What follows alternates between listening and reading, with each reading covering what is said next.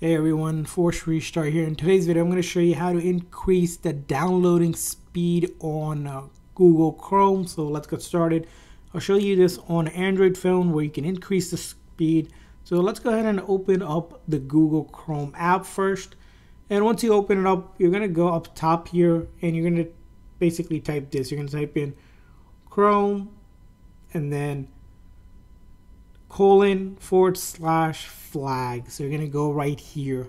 Now, once you go there, you're going to go ahead and search for parallel and type parallel space downloading. So you're going to look for this option from the search navigation, parallel downloading.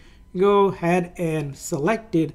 And instead of having the default one, you want to enable this, which this will, as you can see here, enable parallel downloading to accelerate download speed which is something you want to do and then you relaunch the app. And this time whenever you see this is on whenever you're doing a download you should see a massive increase in speed for your Google Chrome downloads. So that's how you do it. I hope this video is helpful. So please consider a like and subscribe button for more tips and tricks for your apps. We'll see you guys next time